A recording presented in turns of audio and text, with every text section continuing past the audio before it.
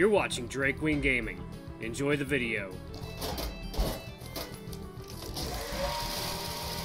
Hey guys and gals, Nary here from Drake Wing Gaming, and something to be on Twitter, The Gaming Dragon. Today I'm coming back at you with a Let's Play episode of After Class, Coach Gil's Path. So yeah, before we jump into it, just want to let y'all know that our Patreon is now up for as little as $5. Y'all can help support the channel, get some awesome rewards like permanent access to our community Discord server and full access to upcoming Not Safe for Work videos. Anyway, y'all, let's go ahead and jump right back in, alarm chain you were up, and let's go. Oh, you're done. Oh god. Huh? He came to the living room without wearing anything but a towel draped around his neck. He quickly turned away, eyes focused on the TV once again. What? Why are you naked? Because I just finished showering? But did you have to come out naked? Not really, but I forgot to bring my clothes to the bathroom. Why? Did the sight of my naked body have you all hot and bothered? Whatever, just wear your clothes. Alright, alright. There, I'm done. Still being cautious, he peeked slowly, making sure he wasn't pulling another joke on you. At least he was true to his word this time. Do you want to leave now? It's still too early, but I don't see any reason to stay here longer. Let's go. Sure. Oh, wait, I need to take my phone, too. Okay. Don't forget to lock your gate. Okay. Don't want to bring it up, but I was wondering if you'd figured out what caused the smell in the house. No, not really. I might ask the landlord later. Hmm, good idea. Keyboard, don't do that. Okay. Hey, Henry. Race you to school? Not again! As expected, you arrived at school feeling like you weren't going to get enough air if you had to run for one more one more minute. Coach Gil, on the other hand, seemed like he was completely fine, even though he didn't break a sweat. Even the even so, you felt like you had managed to run better than you were than you did last week. Maybe all those exercises you did with him finally showed his benefit. You used to exercise regularly anyway, so your body knew what to do. Good job, Henry. I can see that you're getting better at cardio. Ha! Ah! Thanks, Coach. Here. He tossed a water bottle towards you after saying that, and you managed to catch it in time. Jeez, you really like to do that, huh? But thanks. No problem. Having good reflexes is one of many key points of mastering basketball. You unsealed the bottle and started drinking the water. How refreshing. I'm gonna head inside now. See you later at practice? Okays. No reason for you to stay here, now that Coach Gil isn't here anymore. Let's head to Mr. Parker's class and pray that there would be something for you to do once you were there. I knew I got here too early. Only a few seats were taken. Front until the front until middle row were still empty. Despite that, the classroom sounded crowded, conversations overlapping with each other. You took your usual seat, getting ready for the class. Mark wasn't around just yet, so the whole time you were anticipating his arrival. But after waiting for more than 10 minutes, he wasn't here yet. Wonder if he's skipping class today. Better not be.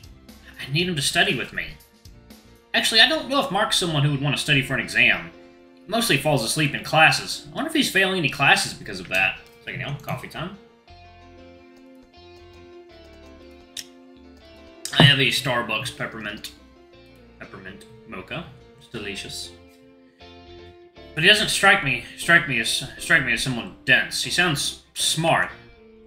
Whatever he is, I'm gonna drag him with eh, I'm gonna drag him with me later. While you were busy thinking about it, Avi entered the classroom and sat down on his seat. Your eyes met with his and he smiled at you. You smiled back naturally. Interaction between you two ended there. Bummer. Another long moment passed. More seats were getting filled. The chatter had gotten louder and indistinctive. It was a whole melting pot of conversation in there. Mark walked in not too long after, rubbing his eyes while letting you while letting out the widest yawn you'd ever seen today. You can't help but putting on a big smile on your face. First thing I noticed when I walked inside was a dumb smile on your face. You rolled your eyes, knowing that was just something Mark would do. Happy to see me much? You wish. Ha! Yeah, you wish you'd be good at lying. He wasn't wrong. You were actually happy to see him. What's up? Not real, not much really, just waiting for you. Waiting for me? Yeah, having you here makes me feel less lonely. If you want to make me feel less lonely, do it at home, not here. You didn't realize that it sounded like you were implying about sex, did you? D did it really sound like I was implying that? Somewhat. But I didn't mean that. I know, just messing with you. Ah! Judging from what you told me, I can safely assume that you got here early. Yeah. Why is that? I just don't have any reason to stay home. Wrong. Huh? But that's what it is. There's always reason to stay. Taking a nap, for example. I'm not going to risk oversleeping. Plus, I was in there with Coach Gil. I feel like the longer I'm there alone with him, the more dangerous it's to get. You won't believe it. Oh, I will. Anyway, you won't believe it, but he flashed me. and He flashed me in front. Of, but he flashed in front of me after taking a shower. Yep, I believe you. That sounds like him, all right. I guess it does sound like him. yep, it does. He made me exercise with him while going to school. No wonder it stinks here. It does? You started sniffing around your shirt frantically, but you didn't pick up anything with your nose. Instead, you picked up something with your ears. Mark's laughter. Real funny, Mark. It's just so fun seeing your reaction is all. You already said it this morning when we were leaving for leaving for home. And I'll say it again if I need to. Eh. Oh, yeah, there's gonna be an exam tomorrow. Surprised you remembered. Oh, you didn't. Someone must have told you. Is it Abby? No. Mr. Stone? You nodded and hung your head in shame. Have you studied for it? No, I haven't. Hearing that from Mark brought you some hope. Your ears perked up, eyes sparkling, mouth open. Pog! At least if you were going to fail the exam, you'd have Mark failing together with you. Although I don't, although I don't have to, I remember everything I learned in here in class. So you thought. Once again, you hung your head in shame. I'm gonna fail this exam all by myself then. Thank you. Coffee time.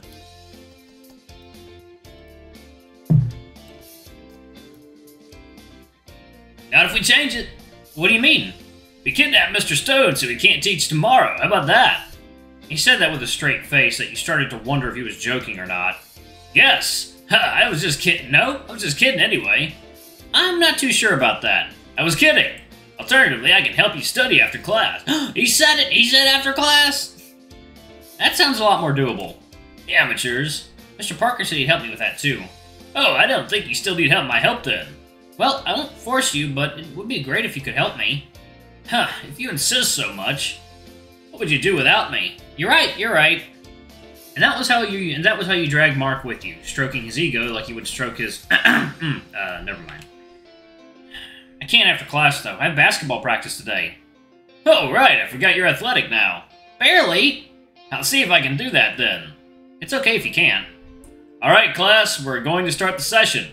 Oh, he's here. Let's talk later. Sure.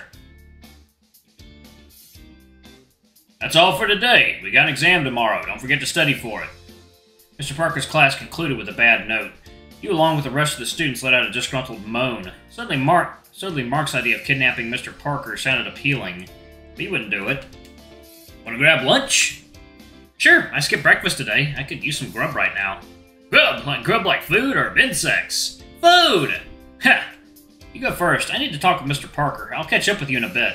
Oh, sure. Mark walked through the doorframe and headed to the cafeteria. He stood there, waiting for the other students to finish talking to Mr. Parker. When you saw a chance to talk to him, you quickly approached him. Henry, do you need something? I'm just confirming if we're still going to the study later.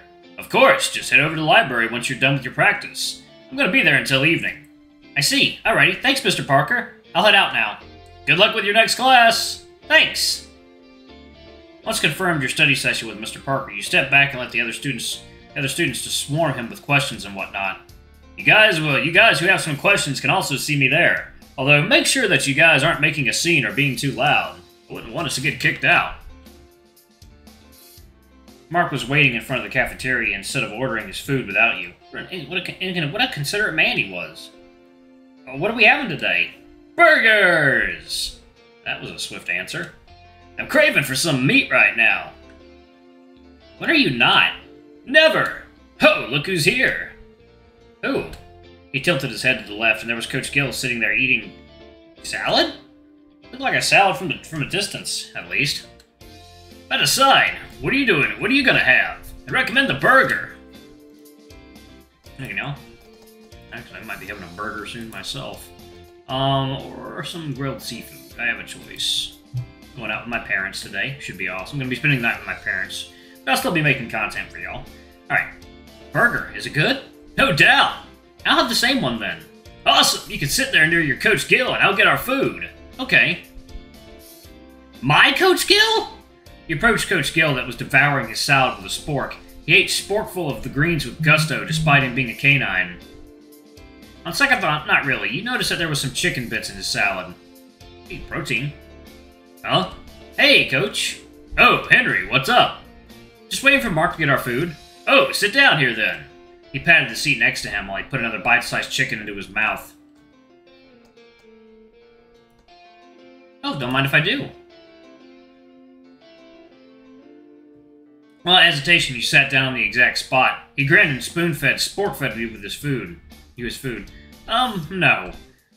You would have done it if it was if it was in private, but there were at least a hundred students sitting there. It wouldn't cause an uproar if you accepted his food. I tried.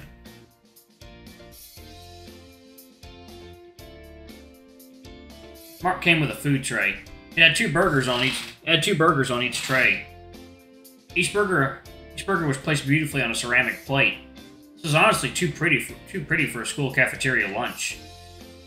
The meat was beautifully grilled. The buns were shiny. You could tell that it was perfectly made. No wonder he recommended it. Burgers for lunch? No, Coach Gil. This is obese pork meat.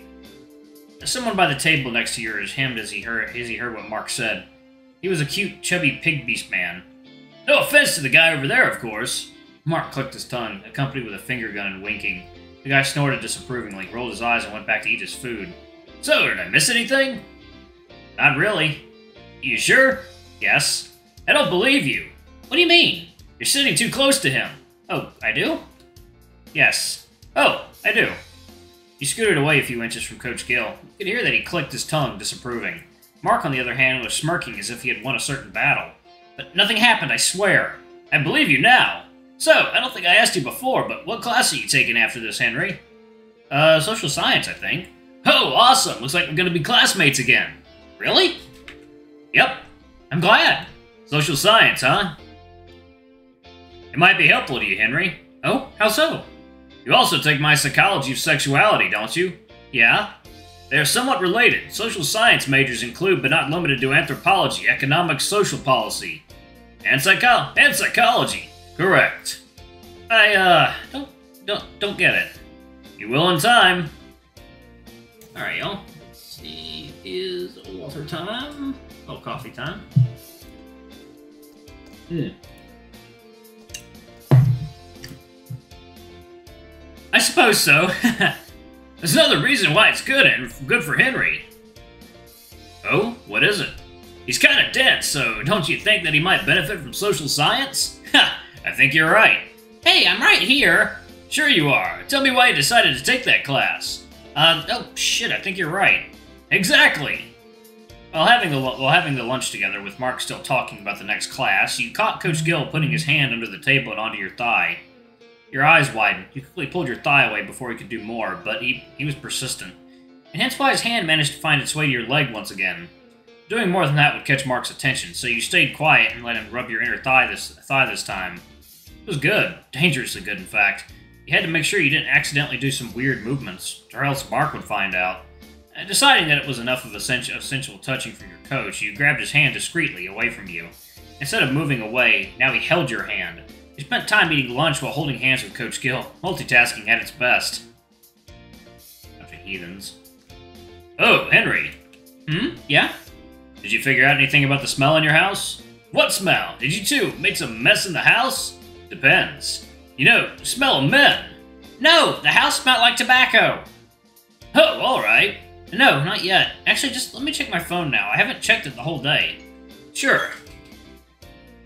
Alright, y'all, I'm gonna go ahead and pause it right there. Thank y'all so much for watching. Don't forget to like, comment, subscribe, ring that notification bell, and check out our Patreon if you can. It always helps. Anyway, before I go, I'm going to give a quick shout out to our lovely bronze tier patrons. Thank y'all for all you do for the channel. We greatly appreciate your support. And thank you to our silver tier patron, Cade Silvermoon. Thank you for going a bit above and beyond. It's greatly appreciated. And thank you to our gold tier patron, Amr. Thank you for subbing to our ultimate tier. You're awesome and we love you.